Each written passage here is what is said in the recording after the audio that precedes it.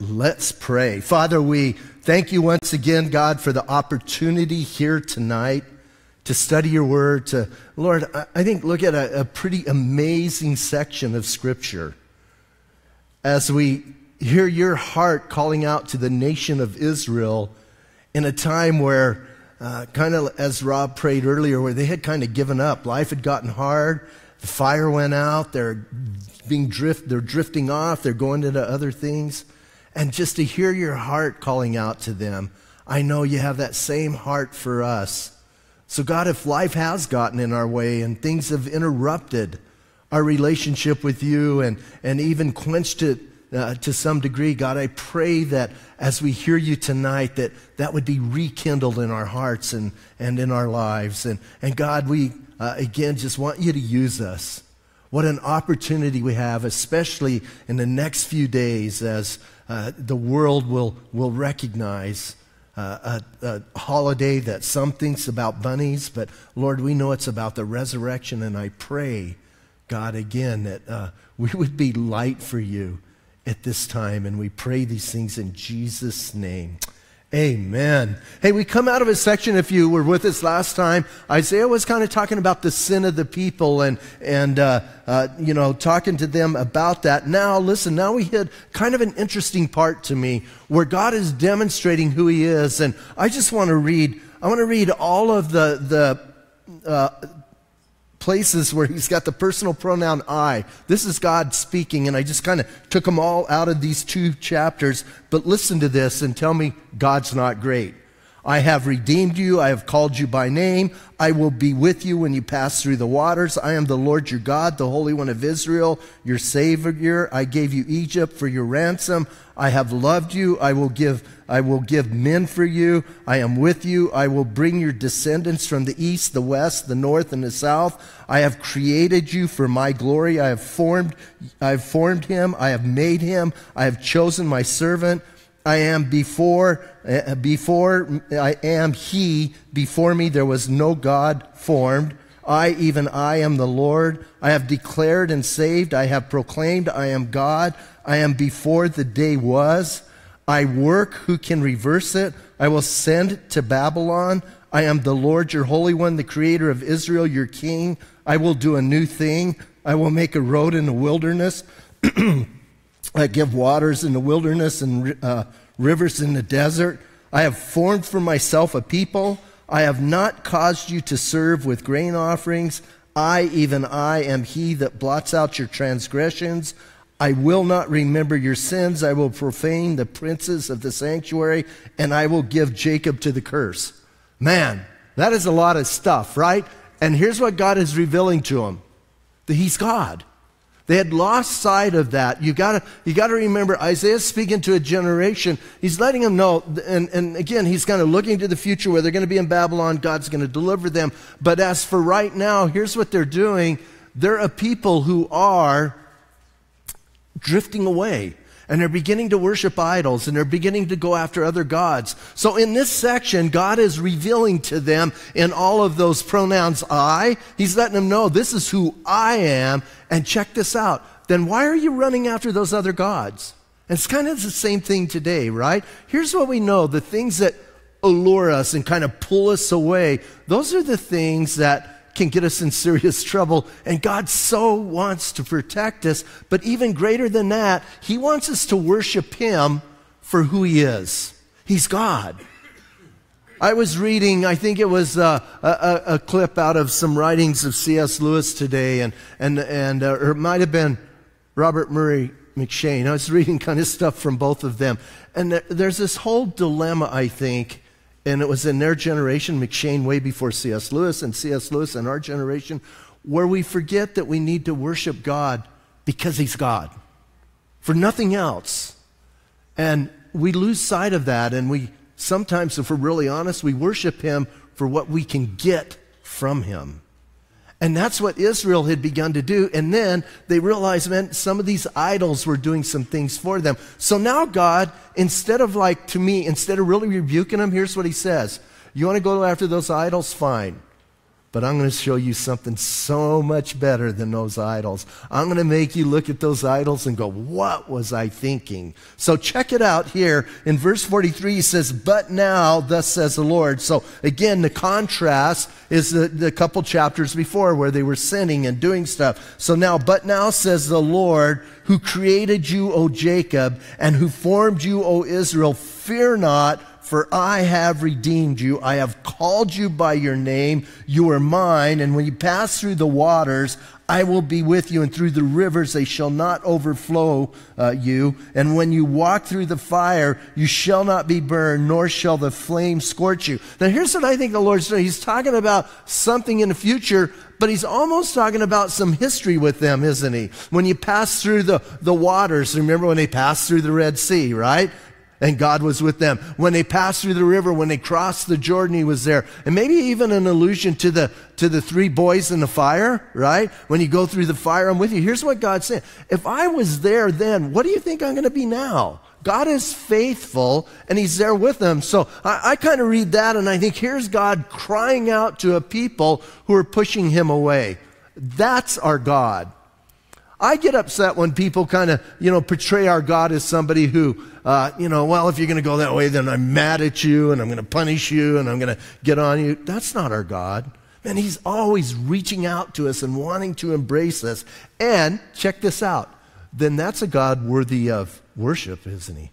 So he goes on, listen, verse 3 For I am the Lord your God, the Holy One of Israel, your Savior. I gave Egypt for your ransom, Ethiopia and Seba in your place. Here's what's going on. He's prophesying earlier, and at the end of this section we're reading tonight, he's going to talk about Cyrus. He gave Babylon and Ethiopia and Seba to Cyrus as a ransom, in other words, or I'm sorry, Egypt, to get rid of them so Cyrus could let Israel go back. So he's kind of talking about that. And then verse 5 Fear not, for I am. Uh, for I am with you. I will bring your descendants from the east, gather them from the west. I will say to the north, give them up, and to the south, do not keep them back. Bring my sons from afar and my daughters from the ends of the earth. Everyone who is called by my name, whom I have created for my glory, I have formed him. Yes, I have made him.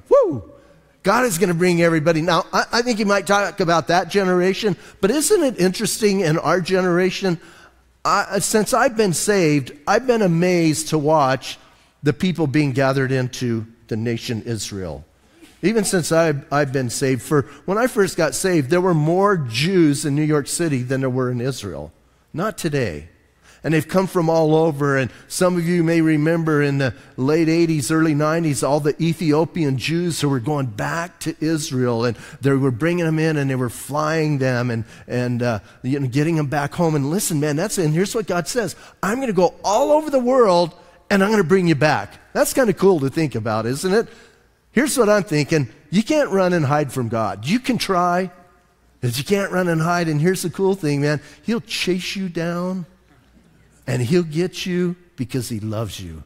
And he's going to draw you in. And, and that's kind of good news, isn't it? That he loves them that much. So then, listen, bring, now here's what he's going to talk about a little bit about their idolatry. Bring out the blind people who have eyes and the deaf people who have ears. Now, I think he's talking a little bit about people who are rejecting, but I also think he's talking about these hokey idols they've made, right?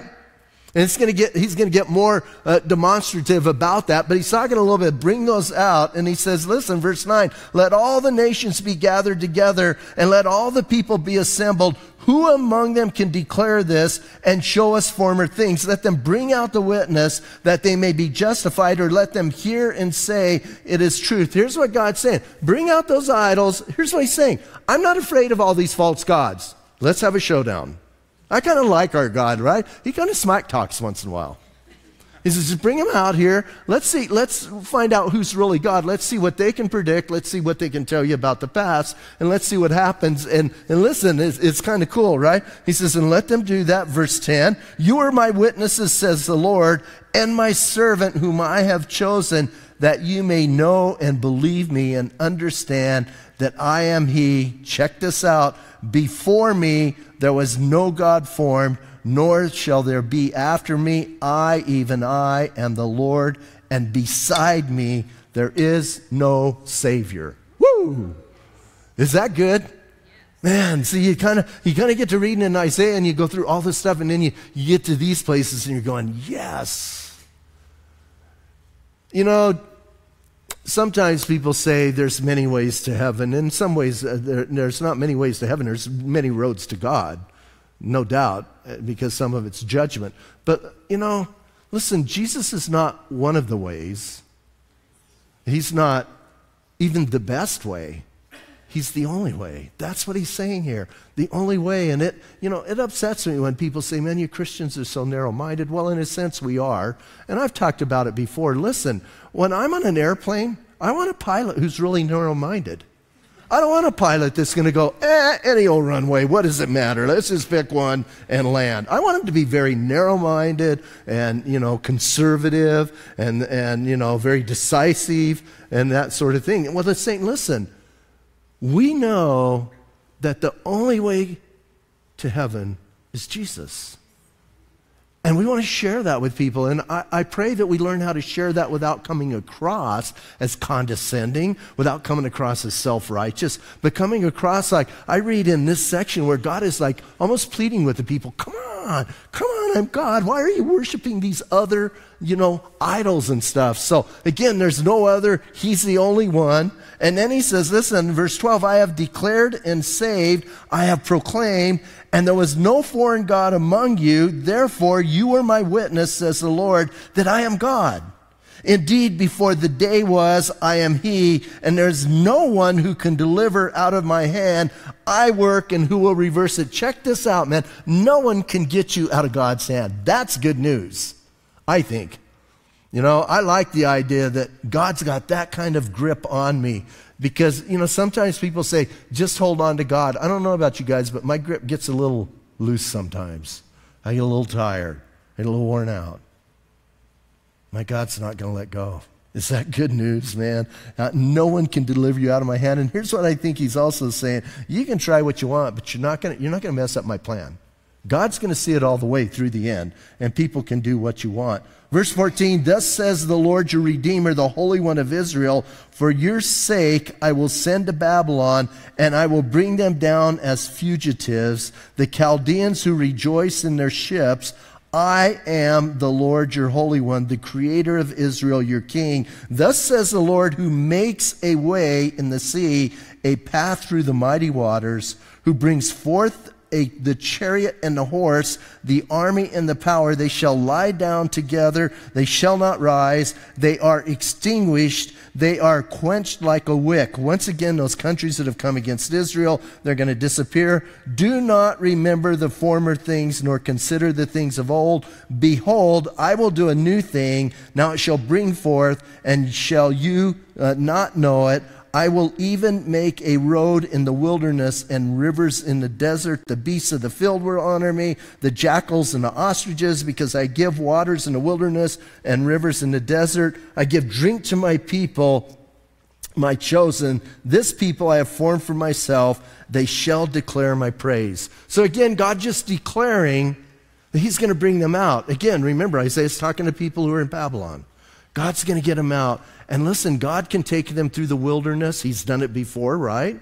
He can take them through hard times. He can take them through areas where they seem lost. Do you ever wander around and think you're lost? Well, guys do all the time, but you know, you kind of, but not not that way. But how about spiritually a little bit? You kind of get like out of sync and stuff, and and going. And you know, here's what I find: I tend to do that when I'm not praying, I'm not reading my Bible, and I'm not hanging out with believers and I start getting kind of all all whacked out and I, and I start drifting. And listen, that's what Israel is doing. And God keeps saying, Don't you remember who I am? I'm the one that I can, I can find your way no matter where you're. He's better than any GPS stuff we got, right? He can kind of get us going, get us back on track. So he lays that out. But then check this out because, see, Israel was in that place, like I said. Not only were they worshiping idols, but when they worshiped him, they weren't into it. Listen to what he says, verse 22. But you have not called upon me, O Jacob, and you have been weary of me, O Israel. You have not brought me the sheep for your burnt offerings, nor have you honored me with your sacrifices. I have not caused you to serve with grain offerings, nor wearied you with incense. You have not brought me, or you have brought me no sweet cane with money, nor have you satisfied me with the fat of your sacrifices, but you have burdened me with your sins, and you have worried me with your iniquities. Now, if you remember in Chronicles, we're reading at one point they brought 120,000 sheep. But here's what God says You've made it a burden for you, you've wearied yourself with it. You've not come to worship me, you've come to fulfill some obligation. And you know, sometimes we kind of do that, don't we? Instead of coming to worship God, we worship to get, or we worship out of some obligation. And worship needs to be about Him and Him only and exalting Him. And I'm not just talking about the time where we're singing. Our whole gathering time is a time of worship. And it needs to be, listen, it needs to be where we're exalting the Lord. And He says, man, when you get weary in worship, is when you're in trouble. Is when you need to realize spiritually you're in trouble because you're making it a work and you're making it something that's bringing you down and God never intended for worship to be that Old Testament or New Testament. He never intended them to come, you know, dragging a, a bull in there going, oh, I gotta bring another bull. I gotta, can't believe this. I hate this. And listen, he says, no, your heart is supposed to come for me. And so God sees that. And then he says, listen, now he goes, you are wearying me with all of your sin. I, even I, verse 25, am he who blots out your transgressions for my own sake and will not remember your sins. Woo! See, God says, I'm worried with your sins. And what does he turn around and say? Don't worry, I'll blot them out. I love that idea. I love the idea that God blots our sins out, He takes care of them, and He's not going to remember. I, I remember when I was first saved. When I was first saved, I, I've shared with you guys, I got real legalistic, and I was reading, reading and listening to legalistic teachers. And I remember one guy in particular was teaching about the fact that there is no way that God has forgiven our present, He's forgiven our past sins, but He hasn't forgiven our present sins or our future sins. We still have to deal with those. And I'll never forget that. He said, It's like you're holding up a cardboard Jesus and hiding behind Him. And you know, I'm kind of thinking, That's a good idea. Right? I'm kind of thinking, I would like God to see Jesus instead of me. And you know what? As I've grown with the Lord, I need a bigger cardboard Jesus. You know, listen, the Bible teaches clearly He has forgiven our past sins, our current sins, and our future sins. That should, and then people go, well, now you're telling people to go sin. No way. Man, if that makes you sin, something is not right in your heart. That should make you not sin, right? And so, listen, man, here's what he's telling them. He says, You guys, I blotted it all out. Verse 26 Put me in remembrance let us contend together. State your case that you may be acquitted. So here's what God's saying. I'm going to forget all that unless you want to go to court, right? Want to go to court? I'll go to court with you. And he says, listen, your first father sinned and your uh, mediators have transgressed me. I think he's talking about, listen, I don't think he's talking about Adam. I think he's talking about Abraham. I think he's talking about Moses. I think he's talking about all the priests who are there. All those guys transgressed. Therefore, I will profane the prince of the sanctuary and I will give Jacob to the curse and Israel to the reproaches. Here's what God's saying. If you insist on doing that, I'm going to let you go. And God lets them go into Babylon. We've, I've said before, listen, we're going to read in Kings and Chronicles whenever we get back in there. They go into captivity because they would not stop worshiping idols. And God says, okay, if you want to worship idols, here's what we're going to do. I'm going to put you in a nation that worships idols like crazy and you're going to go and you're going to get full of it. I, have noticed where sometimes we ask God and we ask God, sometimes we ask Him for things that are stupid, right? Sometimes we even ask Him if we can sin. We do. So we do. We don't call it that, but we got this whole idea. I want to go do this. God, can I please do this? Can I please do this? And then sometimes He goes, okay, go do it. And then sometimes he says, I want you to do it so much that you get sick of it. Like, I'm going to rub your face in it, right? And just go do it and do it and do it and do it. And then, you know, it's kind of like sometimes when you're a kid and, you know, you love ice cream or something, and your parents go, okay, now you're going to eat a gallon of it, you know, till you get sick. And God says, listen, I'm going to let you do this till it makes you, you know, so sick that you're going to get away from it. Yet, you got to go to chapter 44. Yet hear me now, O Jacob, my servant, and Israel, whom I've chosen. So he says, You want to go that direction? I'll let you. Yet, you got to hear me. Thus says the Lord who made you and formed you from the womb, who will help you. Fear not, O Jacob, my servant, and you, Yeshurun, who, whom I have chosen, for I will pour water on him who is thirsty and floods on the dry ground, and I will pour out my spirit or pour my spirit on your descendants and my blessing on your offspring. Wow. When was the last time you were really thirsty for God? I mean, thirsty for God. Lately, something's going on in my body that I don't know what's happening. I don't know what, what's causing it, but it, like it Two in the morning, I wake up and my entire mouth is dry, just completely dried out. I mean, not just barely, I mean completely dried out.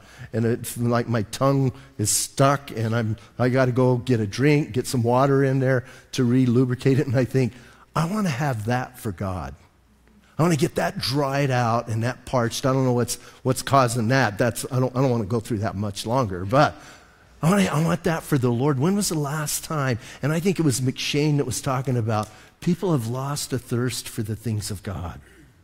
We're not thirsty for them. In other words, man, you show up and you begin worship and you begin worship in song and you begin worship in the word and you just feel quenched and you feel satisfied. That's what he's talking about here. Is he says, "Listen, man, I'm going to pour rivers on you. You're going to be so quenched, it's going to be crazy. And then I'm going to pour out my spirit." And again, I think of you know Pentecost, and even in our own lives. And then verse four: Then they will spring up among the grass like willows by the watercourse, and one will say, "Here's what I love." One will say, "I'm the Lord's." Another will call himself by the name of Jacob. Another will write with his hand, "The Lord's." And name himself uh, and name himself by the name of Israel. Listen, I kind of get the idea. Listen, these guys are springing up and they're going, "Yes, I belong to the Lord." And another one gets a tattoo that says Israel, and another one gets that's I think what he's saying. And listen, man, he start marking it, and they're like, "I belong to the Lord," and they're excited about it. And listen, it's not like, "Yeah, let's go to church and let's do this thing." No, they're listen, they're quenched. It's kind of like when I get up in the middle of the night, stumble in the kitchen and get that water, and finally, man, I can, I can feel things in my mouth again, and I'm going, oh, that feels better. Man, I want, I, want, I want the Word of God to do that in my life. I want His presence to do that. So listen, he lays all that out. And then a little bit more about Israel. Then we're going to talk about idols for a minute. Verse, verse 6 Thus says the Lord, the King of Israel and his Redeemer, the Lord of hosts I am first and I am last. Beside me, there is no God. Are you kind of getting the idea that there's only one God through this? You kind of getting the idea that God, you know, is pretty much honoring and glorifying himself through this, which, by the way, that's bad when we do it. It's good when God does it. But uh, listen, I'm the first and the last. Doesn't Jesus say that same thing in the first chapter of Revelation? I'm the Alpha and the Omega, the first and the last. Last time I checked, there can only be one first and there can only be one last. You can't have I'm the first first and I'm the last last. Hmm. I believe when we're reading Revelation, Jesus is declaring that he's the God and the same God of Isaiah, right? That he is that. And listen, man, and there's no other one beside me. You can't go the other way. Verse 7 Who can proclaim as I do? Whoever, who has ever given prophecies like the Lord our God? What is there? Like, I think it's 700 prophecies about Christ that have all been fulfilled. Pretty crazy. And then he says, Let him declare. Here's what God's doing, calling out the idols again. Who can proclaim as I do? Let him declare it and set it in order for me. I want to see it. And since I appointed the ancient people and the things that are coming and shall come, let them show these to them. Let them show everybody. Let them show them to the ancients. Let them know everybody what's doing. And he says, Do not fear nor be afraid. Have I not told you from that time, from the ancient time, and declared it? You are my witnesses. Is there a God beside me? Indeed, there is no other rock. I know not one. Now, He's going to talk about idolatry. This is where it gets crazy. Listen, so God lays out who He is, everything He's done, the creation, everything. And then He says this, verse 9 Those who make an image, all of them are useless. You might underline that. Listen, I, I, think that would be enough. And you got to remember Hebrew poetry, right? Hebrew poetry, you know, sometimes they build on it. So from the first part of verse 9, he's just going to build on that over and over and over and show how useless they really are. He's going to tell us a lot of different ways, but he's building on it, trying to get it across because here's what God knows. He can't just say something to us and we accept it. He's going to say it like a hundred different ways, just like sometimes we do with our kids, right? And sometimes our kids go, why? Why?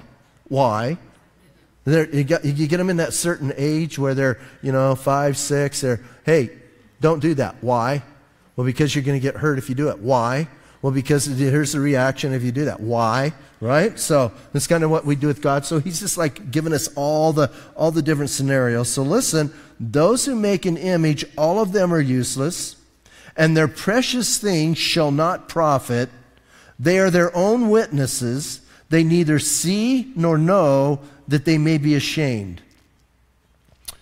Who would form a God or mold an image that profits him nothing? Here's what God's saying Why would you do that? It's like the dumbest thing in the world.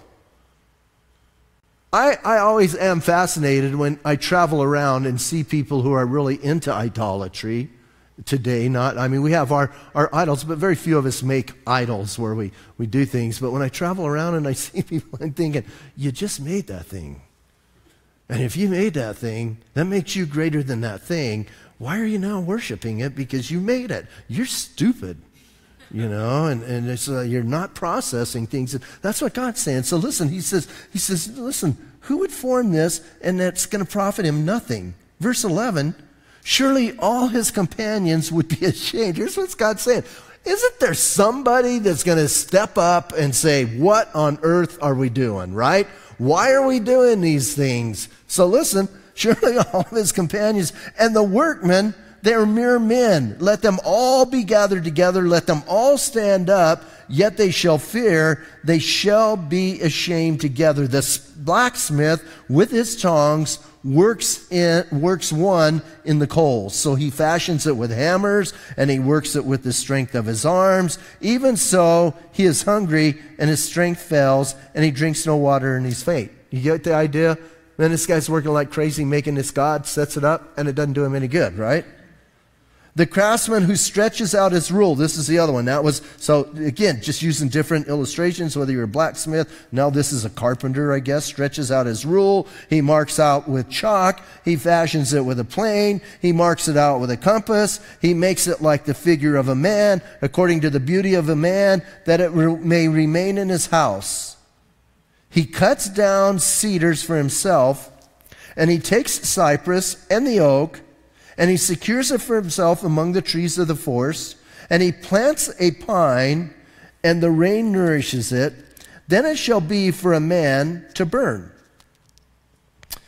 For he will take some of it and warm himself, and yes, he kindles it, and he bakes bread. Indeed, he makes a god and worships him, or it, and he makes it a carved image, and he falls down to it. Here's what God's saying You get this wood and you gather it, and you're the one, you measure it, you plane it, you take care of it. And he goes, with some of it, you light on fire and warm yourself, and with the other of it, you fall down in front of it. Are you crazy or what? Right? He burns half of it in the fire. With, with this half, he eats his meat. He roasts a roast, and he, sat, and he is satisfied. He even warms himself and says, Ah, oh, I am warm. I have seen the fire.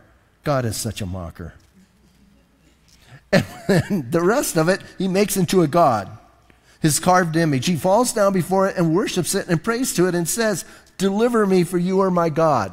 I mean, listen, God, God has a way of making things seem really, really foolish, right?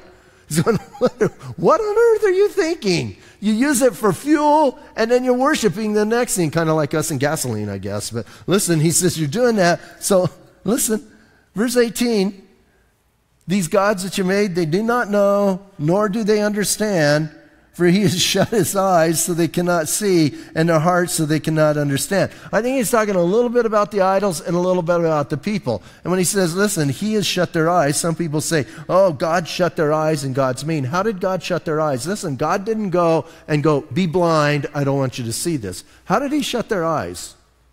God shut their eyes this way by revealing himself to them. And they chose not to see and it became harder and harder and harder. That's what always disturbs me with people, you know, you see and, and you, you want them to come to the Lord, you want them to give their heart to the Lord, and you share with them, but every time you reject, you get a little bit harder, a little bit harder, and then pretty soon your eyes are shut and you can't hear. Your ears are closed off and you can't hear. So I think that's, idol- that's what idolatry does to you, no doubt. And listen, so verse 19, and no one considers his heart, nor is there knowledge, nor understanding to say, and here's what God's saying Why don't you even have enough common sense to know I burned half of it in the fire, and yes, I also baked bread on its coals, and I have roasted meat, and I've eaten it, and I shall make the rest into a, of it into an abomination? Shall I fall down before a block of wood? Think about it, right? A block of wood. That's what you're doing. He feeds on ashes and deceived his heart a deceived heart has turned him aside. He cannot deliver his soul, nor say, Is there uh, not a lie in my right hand? So here's the God lays all that out. Now remember, he's talking to the nation. Verse 21 Remember these, O Jacob and Israel, for you are my servant. I have formed you, and you are my servant, O Israel. You will not be forgotten by me. Here's what I, here's what I love about this. Have you noticed? How many times God has declared that He formed Israel? Listen, He's formed us, He's made us. Why would He forget us? I share when I do the pottery presentation, I can go, I can go any place and I can see the pots that I've made. Why? I've made them. I care about them. God's formed us. He's not going to forget us. He's not going to go, oh, well, sorry. I mean, uh, I kind of liked you, but I just, like, slipped my mind. No, and I, I love that, man. He's even letting this nation know that blew it so bad. Hey, you're not going to be forgotten by me. I've blotted out, again, check it out. Here it comes again. I blotted out like a thick cloud uh, your transgressions, and like a cloud your sins. Return to me, for I have redeemed you. Do you hear the heart of God? Come home. Come back. Man, that's what I'm praying for Sunday, right? Let's see a whole bunch of people come home and come back, even tonight. Maybe you're here tonight and I'm reading this to you and you're going, I want to come home. Well, you don't have to wait till Sunday. You can do it here in a little bit, right? Man, listen, I redeemed you. Sing, O heavens, for the Lord has done it. Shout, you lower parts of the earth. Break forth into singing, you mountains, O forest and every tree in it, for the Lord has redeemed Jacob and glorified himself in Israel. You see what God is doing? God is doing not for the sake of Israel. He's doing it for the sake of himself. He's getting honor and glory. And listen, that would be bad if he wasn't a perfect God. And since he's a good, perfect God, him being glorified reveals to the world here is the great God. Don't you want a piece of this, right? Don't you want to be part of this? So again, he says he does it for that. Verse 24, or, or uh, I'm sorry, verse 24. Thus says the Lord your Redeemer, the Lord your Redeemer, the Lord your Redeemer. I like that, huh? He who formed you from the womb. I am the Lord who makes all things. Here's what I love, man. Listen, listen how great this God is. I am the Lord who makes all things, who stretches out the heavens alone, who spreads abroad the earth by myself. He doesn't need any help. And yet, check this out He knows you. And sometimes I lay awake at night thinking about that.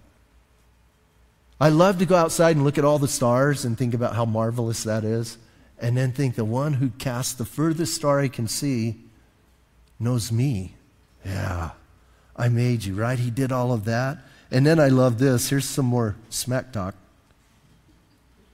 Verse 25 God is a God who frustrates the signs of the babblers and drives the diviners mad. You know, the next time somebody's trying to do something all hokey, they get all uptight, you might tell them, I know God, and you can know God, because He's the one like doing that to you right now. And he's like making you crazy because you shouldn't be doing that, right? And he makes their knowledge foolishness. Who confirms the word of his servant, I think that's Isaiah letting him know, performs the counsel of his messengers, who says to Jerusalem, You shall be inhabited. Now, listen again, if he's talking to that generation that's in captivity, now this makes a lot of sense, right? So this is going forward for Isaiah. And he's letting them know, hey, you're in captivity, but you know what? Jerusalem's going to be inhabited again, although you're gone. And to Judah, you shall be built, and I will rise up her waste places. Who says to the deep, Be dry, and I will dry up your river. So here's what God's saying there's nothing going to get in our way. And then check this out. This is kind of a preview for next Thursday. Listen, who says of Cyrus, He is my shepherd. Cyrus. This guy hasn't even been born yet.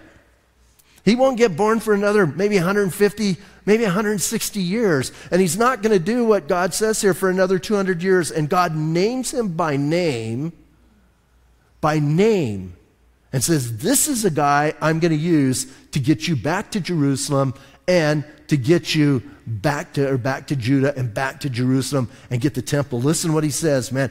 Cyrus my shepherd, and he shall perform all my pleasure saying to Jerusalem, You shall be built, and to the temple your foundation shall be laid. Woo! Hey, if you're sitting in Babylon under a tree and you're bummed out and you read that, you're going to punch old Shlomo next to you and you're going to say, Let's get going, man, because you know what? Cyrus is coming, right? Now, an interesting thing, Josephus says that somehow somebody got this in the hands of Cyrus. I'm thinking, I'm thinking that's kind of, it doesn't matter. You know, you don't have to help God out. He's got this covered, but, but here's what I love He names them by name 200 years before it ever happened. He says exactly what's going to happen. Now, you know, for years, and even today, there's some people who say, you know, there's two Isaiahs. Some people say there's three Isaiahs. The first Isaiah that we're reading about of all the destruction. Then there's this Isaiah, and then later on there's another Isaiah. And they wrote at different time periods. And this Isaiah wrote after the Babylonian captivity. That's what the skeptics say. Because how could you be that accurate, right? I mean, let's be fair. that's pretty crazy. Someone writing with that kind of accuracy. And so people think that. Now, here was a fascinating thing. When they found the Dead Sea Scrolls, they found a scroll of Isaiah and there was only one scroll. There wasn't a whole bunch of different time periods. It was all together. I don't know if it's one solid scroll, but you know what I'm talking about. And it proved that there's only one Isaiah. Now, here's what's crazy. There are some people who go, nah, I don't believe it. It's like, don't confuse me with the facts because I've already made up my mind that can't be true. It's just like, you know, Isaiah gets picked on a lot in this section. And then Daniel gets picked, up, uh, picked on a lot because he's so accurate in what he prophesies, especially centuries later, that they go, there's no way they could do it. They're absolutely right. There's no way Isaiah could do this. God could, Isaiah can't. And I love this that God names him. You know, when I, when I get in this section of Isaiah, it just makes me so much stronger in my faith because here's a God, number one, who's got every right to be mad at his people, angry with them, if I were God, I would just stomp them. I'd just start over. I just, uh, you know, but I'm not God, right? He's want, he wanted, remember when he wanted to get rid of them with Moses? Listen, and God's, God's wooing them. There's times where we get aggravated with one another and, and we kind of lose it and, and etc. God woos. Listen, we need to be a people about redemption, not pushing people away, but redemption. Our God is a God of redemption all through the scriptures. He's redeeming, He's redeeming, He's redeeming. You kind of think, even, even the 70 years of captivity in Babylon wasn't because God was mad, it's because God wanted them to get their fill of idolatry. You want, you want idols? Then let's go do it. Let's go all the way. You know, and hey, my prayer is none of us would do that because I think there's times in our lives where we keep begging him for something. He says, okay, then go do it. Go do it. And you're going to be miserable and you're going to come home. Here's the thing I believe he's going to bring you home. But why would you want to go through the, all the muck and the mire to get home? Why don't you just stay home, right? Why would we go through that? And then also, I pray that we would not be people who are weary when we worship. And again, not just talking about song, but when we gather together, wouldn't be a weary, wearisome or burdensome thing that we would come together with. Woo! God is going to do something, and all I care about is lifting up and exalting his name because I just read all these things he said to Israel, and all those things are true of Israel. And check this out they're true of us and how blessed we are. Let's stand up and pray. Lord, we do think of this, and again, I think it's amazing of how you demonstrate who you are to, to that group, that generation. And I pray that, Lord, as we stand here as a group of people redeemed by the blood of Jesus Christ, that God, if any of us are in that place where we have become distant or a little bit weary, a little bit worn out with our worship and with our honoring you. I pray, Lord, that tonight you would put that thirst in us and then you would come and quench that dryness, that parchness. And I pray, God, for each one of us, Lord, that we would see you for who you are not for some, even some of us, we, we make you into our image. I pray that we could see you as the image of this one who's represented in Isaiah 43 and 44. We could understand how powerful, how awesome you are. And God, that we would understand with all of your power, all of your might, all of your strength, you redeemed us. You cared for us that much that with the power of Almighty God, you died on that cross so we could have life with you. Thank you. And God be glorified in our lives. And we pray these things in Jesus' name. Amen.